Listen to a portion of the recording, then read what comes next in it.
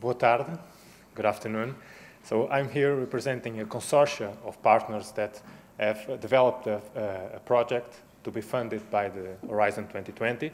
And as you may guess, it was funded, or else we wouldn't be here presenting it. Uh, and this project is, uh, aims at the design of a theory-informed ICT tool, ICT's information and communication technology tool for weight loss maintenance. And we focused on two rising trends. The first one is the rise of obesity, and uh, you, you all are aware of it, of it. And also the other trend is the rising use of technology. And we thought that with the almost omnipresence of technology in everyday use, uh, that people uh, use smartphones or tablets or PCs, we could make uh, some experiences that could help people uh, to facilitate some behaviors that will lead to their weight management. And we thought about something completely different uh, and something that is awesome. And I'm guessing that it's not that different because it's the, the, the subject of this seminar, because we will use, of course, the uh, ideas that are being set forward in this seminar. So behavior change science and behavior change theories and techniques. And we know that they work within a face-to-face -face intervention. There are some meta-analyses that already show that uh, more broad interventions, more, more, broad psychosocial interventions work in overweight contexts, and also uh, some more specific uh, uh behavior change, what it's called the active ingredients, do work when we are dealing with, with obesity, and these are the last two um, papers that are showing here.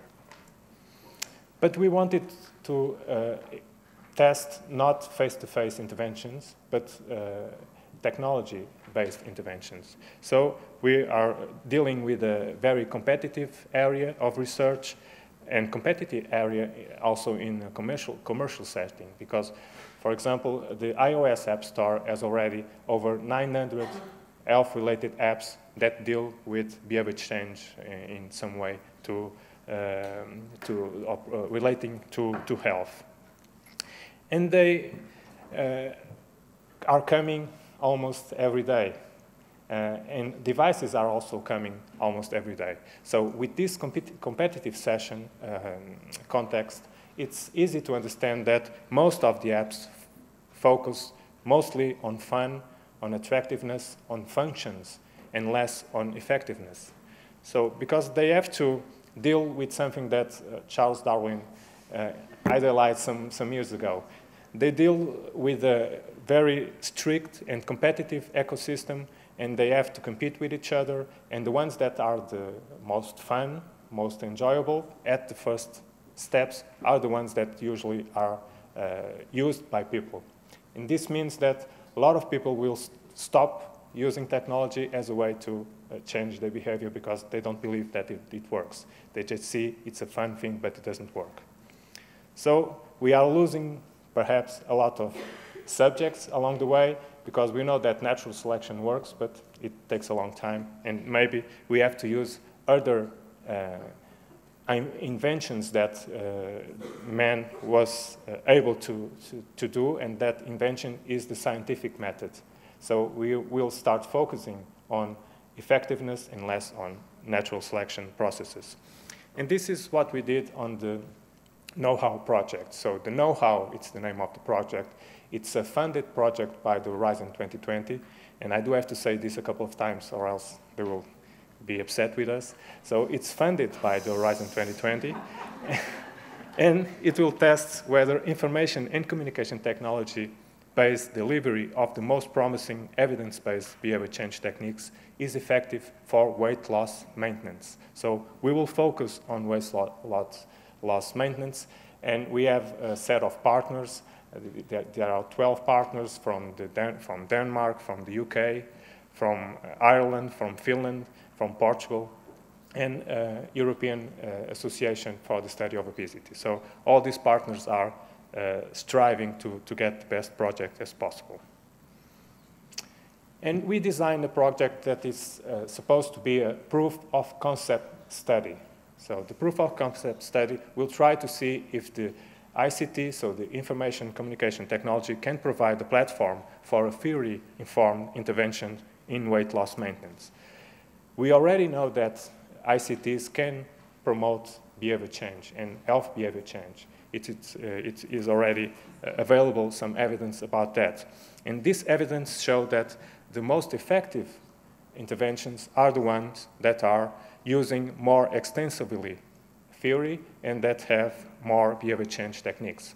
So these two ideas, extensive use of theory and more behavior change techniques, uh, were the first roadmap for future interventions. And this was 2010. So after 2010, a lot of uh, interventions were uh, built up with these ideas, uh, and we already have the, the, results of those interventions. But as you can see here, the first one by Whelan uh, and the other, uh, the other two uh, meta-analyses or systematic reviews are focusing on weight loss, not on weight loss maintenance. So we thought that we still have some leverage or some way to, to make a study. The NoHow started in March 1, in the first day of March. So we are 24 days old, so we're not that old, uh, at least in, uh, in, this, in this idea. And just uh, a couple of weeks after the, the project started, we found out a, re a, re a review that is focusing on, on technology and uh, weight loss maintenance. And this review shows uh, a new roadmap of what should be the state-of-the-art uh, techniques or the state-of-the-art interventions that will work in terms of weight loss maintenance. And they are not that different from the ones that we already knew when we developed the NoHow. So the NoHow has some innovative characteristics. The first one is that it will focus on weight loss maintenance. It will be or will, it will try to provide the research-grade evidence for an ICT intervention. It's not very, uh, uh, it doesn't happen a lot that ICT interventions have uh, uh, a concern about the research. Uh, we will have a factorial study design uh, that will allow to test for individual contribution of each intervention component we will have dissemination capabilities with the EASO, the European Association for the Study of Obesity, and Slimming World. And we are also linked to the private sector, uh, both on the technology side with VTT and Axivity, and with the commercial side with Slimming World. So we start designing the NoHow. That's where we are, uh, where we are at right now. And the intervention is built upon what we call the toolkit, as uh, Pedro just told. And this toolkit is a set of experiences that are made available to the user, and the user can experience with more depth that experience, or he can choose not to use the experience. And in this process of uh, going into an experience, it will provide some feedback to us that will allow for tailoring and individualized uh, interventions. You can see here uh, a graphic of what we are trying to, to do. So people can choose each one of those cards. Those are the experiences. The experiences are linked to some key components that I will show up in a minute. And that those, uh, the way that they experience the activity will help us to provide a more tailored experience or a more tailored intervention to the people. And we have three sets of key mediators, so three key components. The first one is related to self-regulation. The second one is uh, more linked to motivation, and the third one to stress and emotional regulation. And we already have a net, uh, a net start for each one of these components. So, for example, one of our partners, the University of Newcastle, is developing a, an intervention that is based on self-regulation for weight management. So we will uh, use this uh, start, this knowledge to provide for uh, the toolkit. For the motivation um, component, we will use the experience that we have here in the University of Lisbon. And I was, I was looking at my first uh, folder from PESO 2001. So it, it's 15 years ago almost that we started this, this project. So we will build on, upon these experiences and also on the ideas from the BCT taxonomy. Finally, we are also have an head start for the stress and emotional regulation. Uh, we, have, uh, we are linked with VTT that developed an app, uh, it's called OIVA, that will be, uh, let's say, it will, be, it will, it will get better with the help of the University of Coimbra so that it can be used in our toolkit. And all these three key components will have what we're calling for now modules. And these are the modules for the self-determination or motivation uh, component. So each one of these models uh, have experiences that are linked to a theory uh, informed uh, idea or a behavior change technique that we think that will facilitate behavior. For example, this first one is related to autonomy and relatedness support. The mode of delivery will be a web-based app, similar to what Robert West just showed you. So it will be available on a smartphone or on a, on a tablet or on a PC. And it will be tailored, so we will be getting uh, feedback from the, from the users so that we can promote better engagement. So now that we have an intervention, a toolkit, we have to test it. Let's see if it, this works or not. So we design a trial, and the trial has a factorial study design, as, uh, as it was said before, with four arms. So this will allow for the uh, individual testing of each component. It has a lot of outcomes. The primary outcomes will be body weight, of course, uh, but you also have some secondary outcomes that are listed he uh, down here. It will be a large uh, trial with three study centers, one in the UK, another one in Denmark, and another one in Portugal, each one with over 500 people.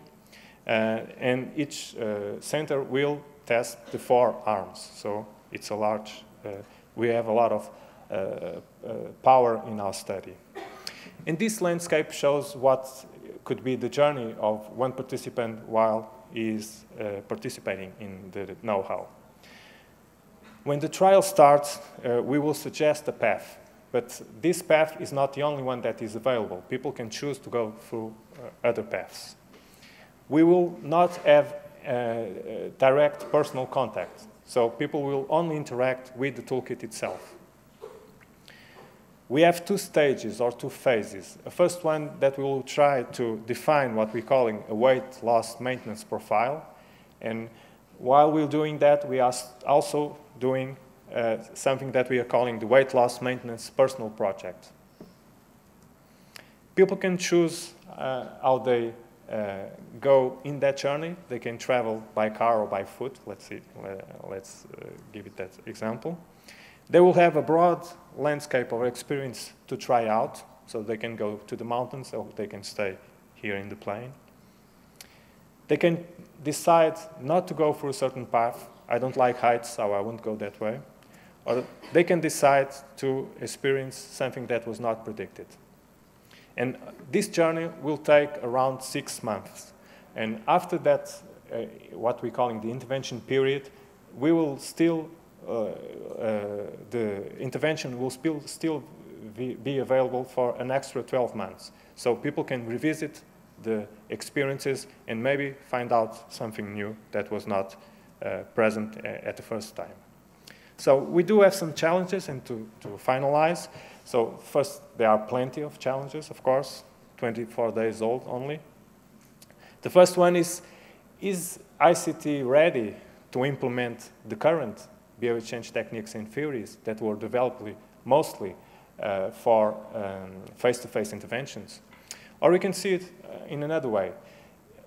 Can uh, BCTs and theory evolve in order to uh, use or to seize what technology can offer?